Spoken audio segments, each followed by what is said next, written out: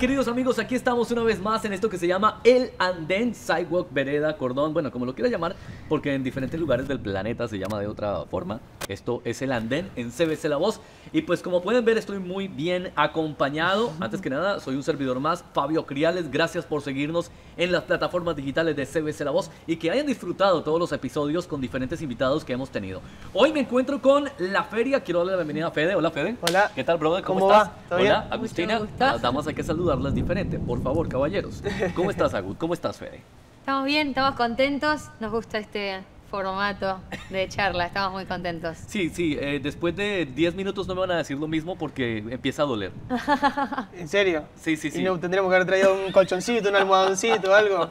O cojincito. Tendríamos, claro, tendríamos que ir, a- ir acomodando el andén.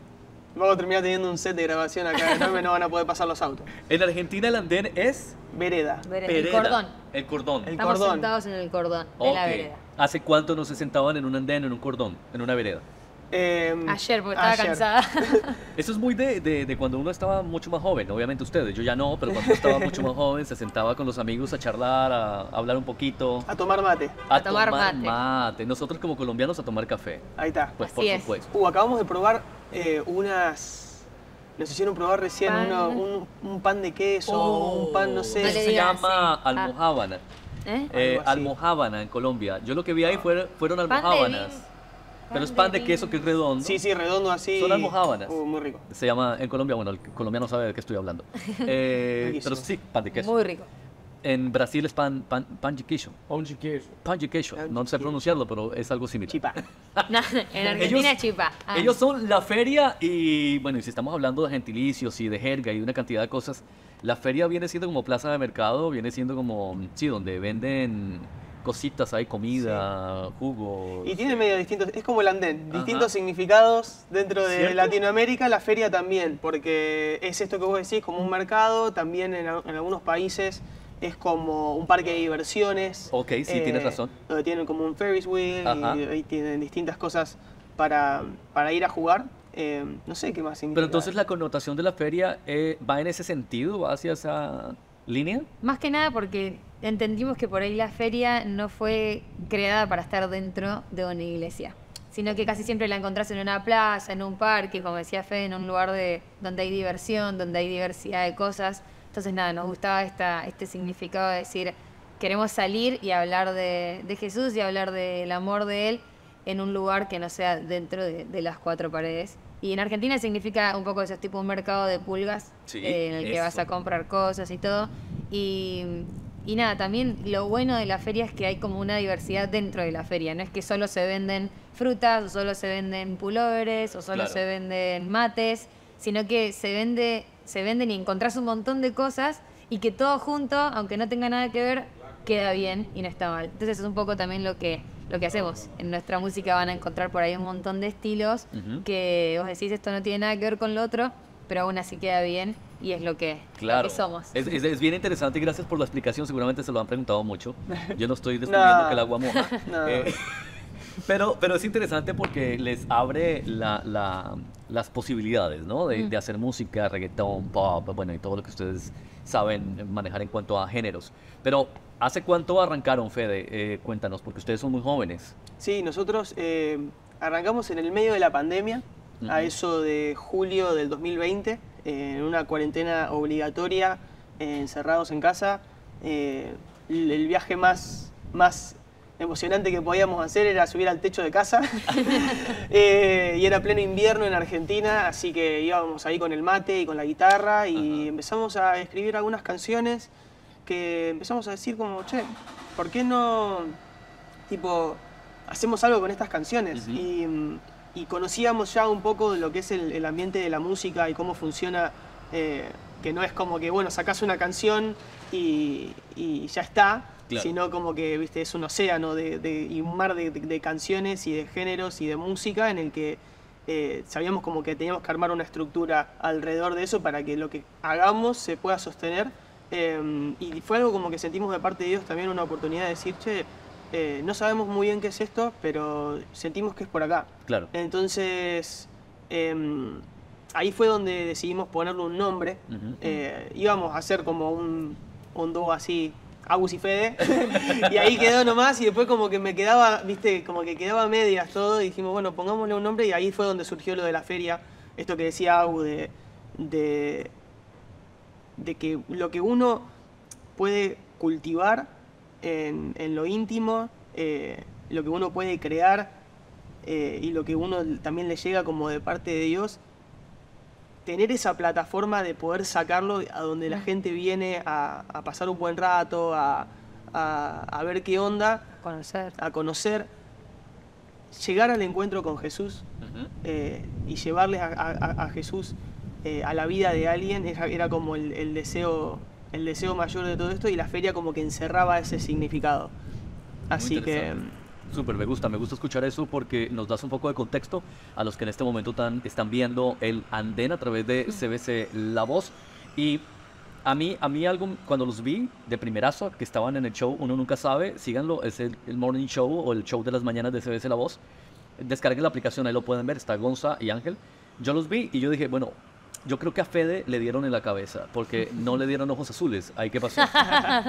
Y bueno, a mí me tocaron los ojos de papá eh, Ok. y Agustina los, los de mamá. mamá. Eh, el pelo también, a mí me quedó, me quedó todo el pelo todo negrito. Y Agustina salió rubia, ojos celestes, así. Ella es la estrella. Yo creo que no es la primera vez que te dicen esto. ¿Te, te No, no, no, todo el ello? tiempo, todo el tiempo. Yo, yo creo que si me hubiera tocado ojos azules, Pero yo en realidad uso lentes de contacto. Oh. No, mentira. Mis ojos en realidad son marrones. O sea, si tuvieras los ojos de Agus, o sea, me imagino, las chicas, pues Eh. eso sería una locura, ¿no? Ya No, no vienen igual. no, ya no, vienen no. igual. ¿no? Sí, ¿Qué nos puedes yo- contar, Agus, acerca de No, eso? Agustina, Agus, ¿qué nos puedes contar acerca? Que yo soy media. No, soy celosa. ¿Eres celosa? Poquito, Oh my God. Eh, eh, pero nada, es mi hermano, es mi hermano mayor, el único hermano que tengo, somos dos nomás. Eh, y compartimos mucho tiempo juntos. compartimos muchos mucho viajes, tiempo. muchas habitaciones de hotel. Ok. Es como. O sea que tú ves por ahí alguna chica que esté como con intenciones de y tú ¿cómo, tú- cuéntanos un poquito, tú cómo, cómo filtras eso? No, me río nomás, la paso bien. Ah, soy mucho de hacer chistes, así que también hago chistes como, ojo, que es mi hermano. Ajá. Nunca nada, tampoco soy un nivel de, de celosa extremo, tipo tóxico, de no se acerquen a mi hermano. Eh, pero nada, sí, comparto mucho tiempo con Fede, entonces como que por ahí, no sé, siento que es mi hermano. Eh, pero nada, todo bien, todo bien. Soy buena, soy Ok, buena. pero, pero, ¿en algún momento has, has sacado alguna de esas chicas corriendo? o- No, no, no, no. no, nada, nada extremo. Nada No, extremo. Siempre no. hago chistes como que no. No se acerquen. ¿Y, y Pero tú cómo siempre son eres chistes. con Agus? No, yo bien. Pasa que Agustina también está de novia, así Ajá. que es como. Ya tienes esa Eh. ventaja, que ahí no hay problema. mu- No, no, además el pibe es un crack, así que. Ah, ok. Se llama Fede también, así que. Se llama Fede. Ah, muy bien. O sea, no eres celoso. Eh, o sea, soy celoso, pero en, en- como ya, viste, está construyendo algo ahí y va bastante bien, entonces como que no, no tengo nada que preocuparme. Buenísimo. Esto de trabajar con hermanos, cool, chévere, por- porque se viaja, bueno, se conocen, lo que no les gusta, lo que les gusta. Eh, me imagino que tienen muchas anécdotas, ¿no? Sí, Tenemos muchas anécdotas. Aquí ahora se nos vienen un montón de cosas. Eh, justo ahora estamos de viaje. eh, Ajá. estando acá, literal es, es un sueño. Eh, y nada, la primera anécdota por ahí que se me viene de cuando nos preguntan así cosas de cómo arrancamos y que es lindo hacerlo con hermanos, con, entre hermanos y todo. Con Fede desde muy chiquititos eh, nos gusta hacer esto, literal. eh, cuando teníamos, no sé, seis años, siete años, ya arrancábamos, teníamos como un mantel que tenía como una ciudad chiquita eh, y nos subíamos arriba de nuestra cucheta o bunk bed y mm, ese era como el avión. Ajá. Entonces nosotras poníamos las, las valijas abajo, del, en la cama de abajo, nos subíamos ahí y con los pasajes que por ahí nos daba nuestro papá de viajes que él había hecho, hacíamos que girábamos, después nos íbamos de ahí al living y nuestros peluches eran como los... como el los- público. como el público, nosotros les cantábamos a ellos. También había peluches que eran nuestros músicos. Después cuando nos íbamos a comer a la casa de la abuela, ese era como irnos a otro país y era tipo, bueno, estamos en un restaurante. Entonces nada, salíamos al patio y hacíamos Salíamos un al show patio. libre, tipo, todo, era, jugábamos a, A lo que estamos a haciendo lo que ahora. estamos haciendo ahora. Y era, es, como, es muy fuerte. es O muy sea, fuerte. o sea, soñaron esto. soñamos.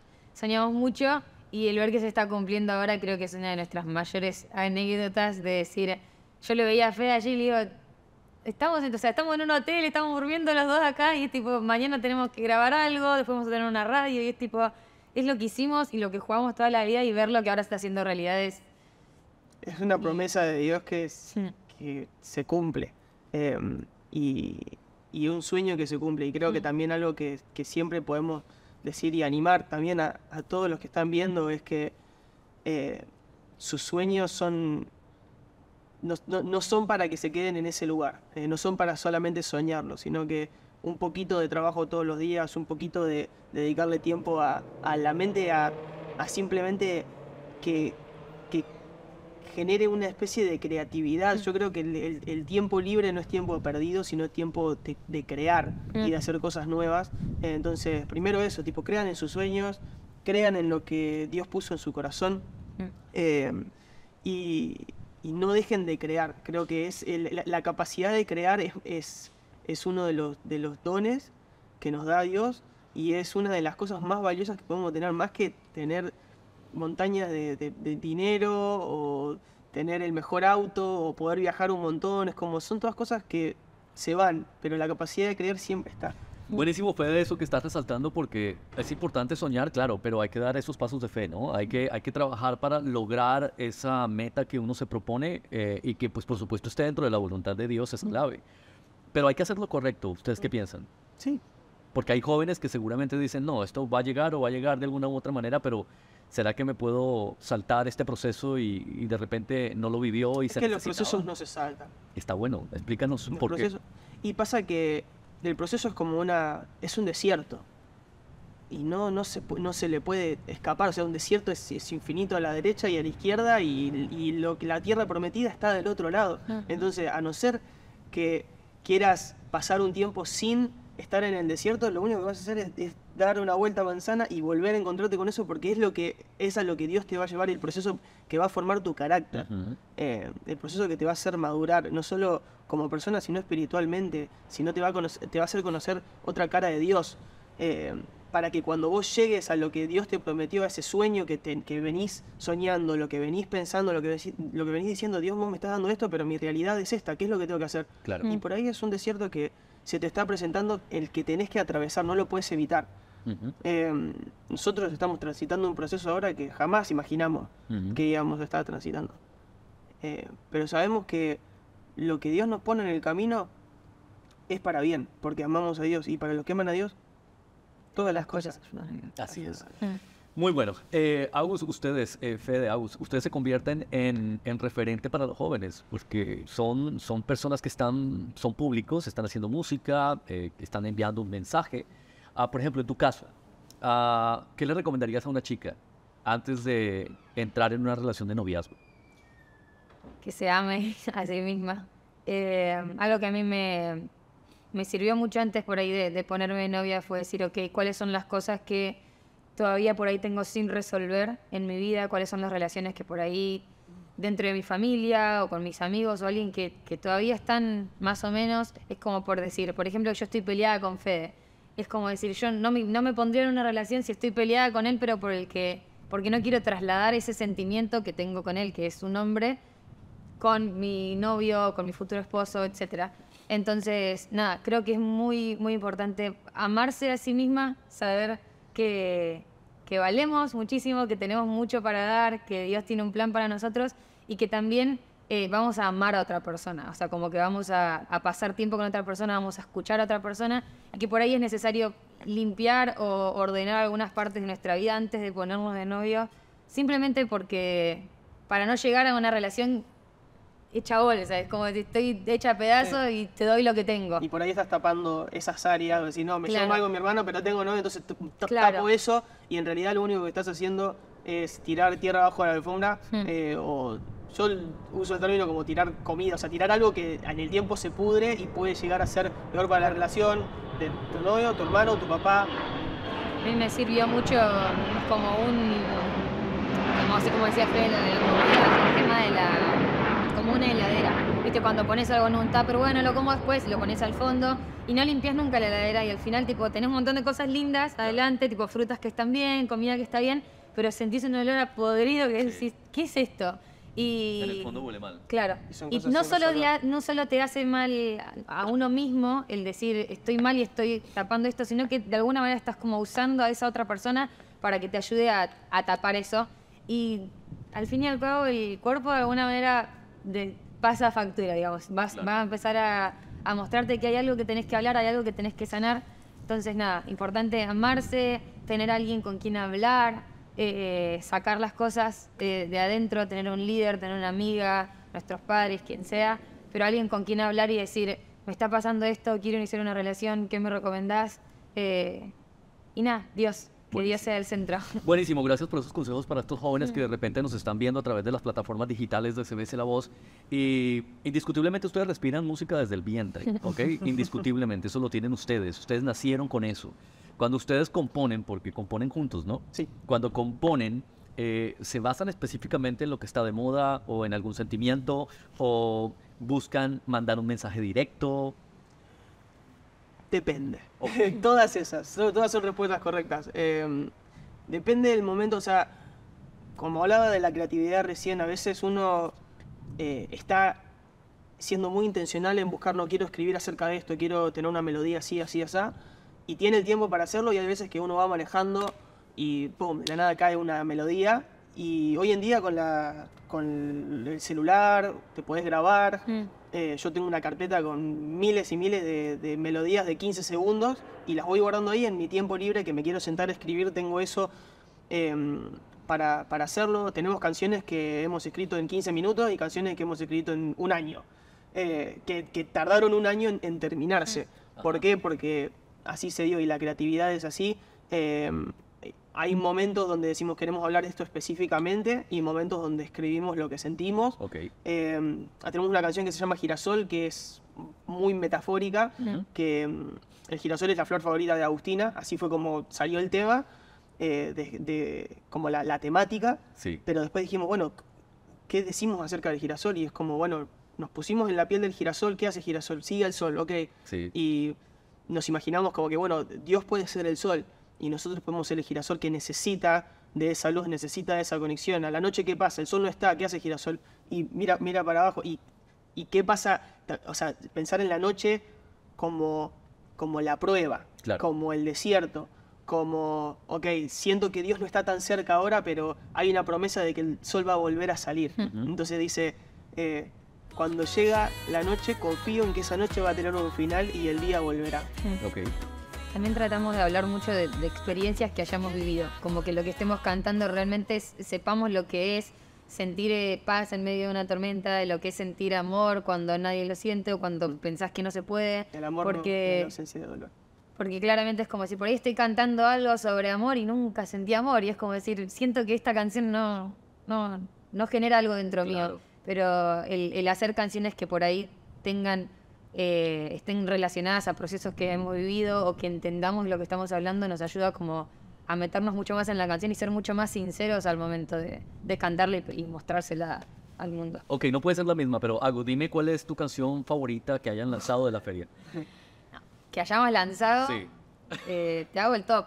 no, porque me gustan todas. La No, favorita, Una la sola, favorita, la que tiene que ir corriendo la que- ya a escuchar. La que tenés. desapercibida. Desapercibida. Ok. Girasol. Nada, yo girasol. Girasol. Hay momentos que, que voy así, digo, me gusta, me gusta escucharlo. No soy mucho de, de- de re- escuchar, viste, cuando uno escucha su propia voz, Ajá. después eh, pasa que. No sé, no, no te pasa a vos que cuando volvés a escuchar la nota, vos decís, uh, así se escucha mi voz. En realidad, viste, no sé. Pero esa canción, como que algo tiene que, que me atrapa en, en la melodía y todo, así que es mi favorita.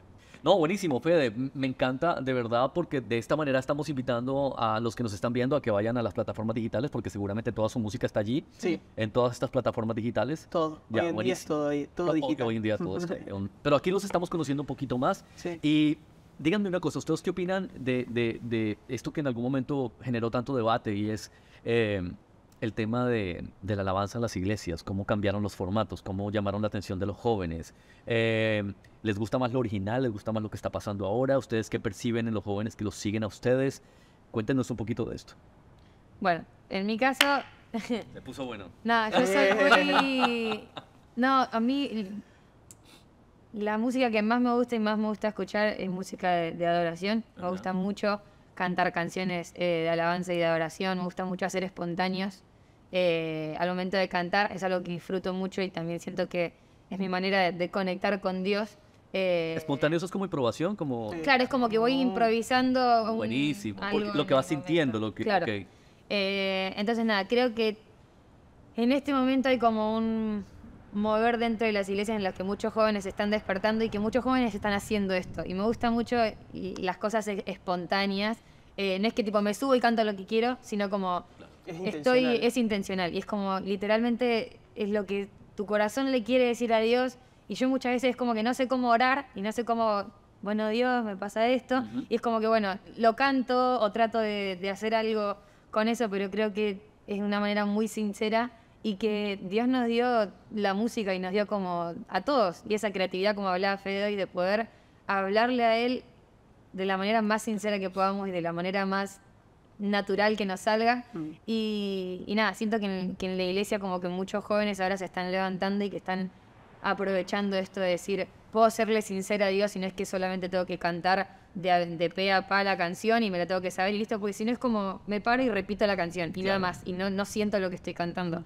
Entonces, nada, creo que por ahí todo esto nuevo espontáneo que se está creando, no solo el que canta, sino los músicos, eh, que el bajo haga algo, que la guitarra haga algo, es como que en el momento todos van, eh, van haciendo algo nuevo y, es- y es genial, porque es decir, en- se están como moviendo en el espíritu, digamos, como diciendo, estoy haciendo esto para Dios y ni siquiera sé si está saliendo bien para afuera, pero yo lo hago para Dios y sé que eso está bien. Sí. Entonces, nada, creo que eso nuevo que está naciendo ahora es, es muy lindo, muy sincero y, y lo disfruto mucho. Fede, ¿estás afirmando lo que tu hermana está diciendo? ¿Piensas algo similar? Sí, yo creo que em, el hecho de hacer música, esto que decía Agustina, de espontánea, también como que abre toda una puerta al- al- a lo nuevo y a lo vulnerable. Y yo creo que lo vulnerable en uno es, es, lo, es lo más real, es lo que está pasando, es el proceso, es el desierto, lo que hablamos antes.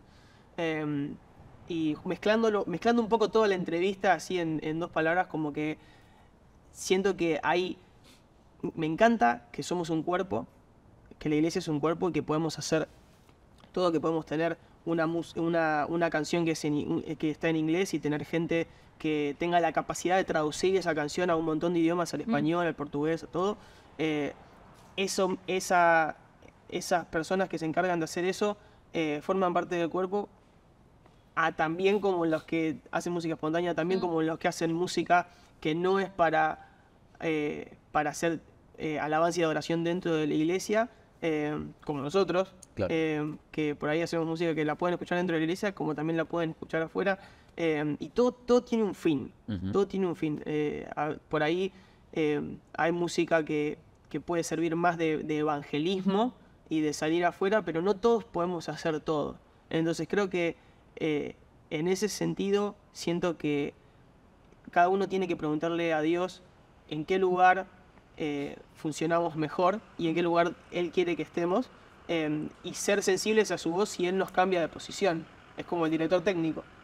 Tenés que estar ahí atento, no puedes quedarte con algo que Dios te dijo hace 10 años, mira, vos vas a hacer esto, y vos te agarraste esa palabra y dices, bueno, 10 años después sigo haciendo lo que Dios me dijo, es como, no, viste, ya es un odre viejo, tenés que cambiar por, el- por lo nuevo porque hay un vino nuevo, hay algo nuevo que Dios quiere para vos todos los días. Entonces, eh, ese es nuestro deseo para la feria eh, y lo compartimos también con todos, de decir, el lugar donde Dios te puso hoy, haz lo mejor que puedas y está atento porque Dios mañana te puede cambiar los planes. Grandioso, grandioso. Tenemos que dar lo mejor de nosotros donde estemos, donde Dios nos ponga de acuerdo a su voluntad. Estoy completamente de acuerdo. Y ellos son muy aplicados, son muy obedientes porque cuando empezamos a este tema del andén, grabarlo, di- le dijimos, van a pasar aviones, van a pasar camiones y ellos siguen hablando. Ellos, ellos se metieron y me encanta, me encanta. Y estamos teniendo una charla informal. Y ya como para cerrar este andén, antes que nada, gracias por acompañarme. Eh, en el tema, en el tema de- de- de- del reconocimiento. Obviamente yo sé que ustedes tienen una muy buena escuela, pero en el tema del reconocimiento, pasa que es posible que esto dañe corazones más adelante porque la fama, el reconocimiento, el stage, la alfombra roja, eh, el, green, el- el green room donde los atiende con bombos y platillos y todo esto. ¿Cómo, ¿Cómo van a cuidar eso en sus corazones para que sigan siendo esas personas humildes y entregadas a Dios y además con el público, que es el que finalmente hace crecer y lleva a un artista a otro nivel? Yo creo que todas las personas estamos en el mismo nivel.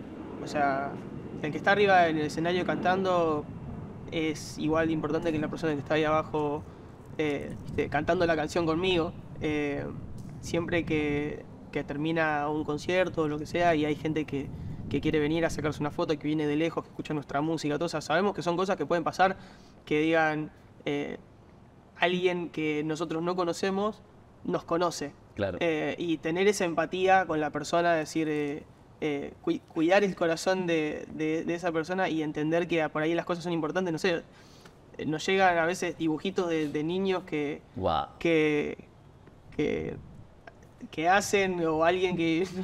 Este- Una vez una, una chica cumplía años y hizo una torta en la que tipo habían puesto en- en- en Wow. nuestras caras ahí, era una, con un girasol clavado en la Mm. torta. Y es como decir, ¿cómo uno toma dimensión de esas cosas? No sé, pero simplemente pedirle a Dios, Dios, o sea, que, que mi corazón no, no se mueva de, de tu voluntad, pero tampoco ser ajeno a eso, o sea, disfrutarlo de verdad, porque decir, wow, wow, de verdad. Mm. Eh, No sé, aprender no a sé si tenemos una, una- un tiempo para una anécdota que quiero Sí, que, sí, sí, sí, que sí, cuente claro. Agus. La de, la de la chica que hizo la biografía. Ah, bueno, había una, una nena que tenía que hacer una biografía para la escuela y su mamá nos mandó una foto de la biografía que ella había hecho y eligió la banda La Feria para, Ajá. para hablar. Y nada, había escri- escribió tipo, ellos son La Feria y una foto de Mía y Fede. Después, esta fue su primera canción y hablaba sobre esto y una foto de libertad, desapercibida. Y después tipo, bueno, ella es Agus, tiene tantos años, eh, ella es la cantante y una foto mía y después, y bueno, y él es Fede, él es el que toca la guitarra. Fede el que toca la guitarra. soy. Así que quedó como Fede toca la guitarra y yo soy la cantante. Eh, Pero el fin era como muy loco decir, esto es una biografía para una nena de 8 años que está haciendo el colegio. Tremendo. Eh, y nosotros estamos ahí y es como, Yo creo que va mucho por el también el aprender a, a valorar eso. Yo lo veo por el lado de decir, hay gente que me está valorando a mí, está valorando que, que yo vengo hasta acá y me, estás, me están dando algo para comer, me están dando algo para tomar. Y ellos están de alguna manera valorando el decir, che, vos Gracias viniste acá, venir. gracias por venir. Entonces no es tipo, no, no, no, no hagan nada, no, gracias, no hagan esto, no hagan eso, porque si no siento que estoy como menospreciando lo que ellos me están dando en forma de agradecimiento Ajá. Pero siento que es como valorar el hecho de decir gracias por venir hasta acá, gracias por hacer esto por nosotros. Y literal, de todos los lugares que nos vamos, siempre nos han tratado muy bien y siempre nos vamos como muy agradecidos de decir, Dios, no solamente te moviste de alguna manera ahí con nosotros en el escenario y nos hiciste disfrutar esto, hiciste a la gente disfrutar, sino que fuera del escenario y abajo también nos das un montón de gente que nos ama, nos abraza.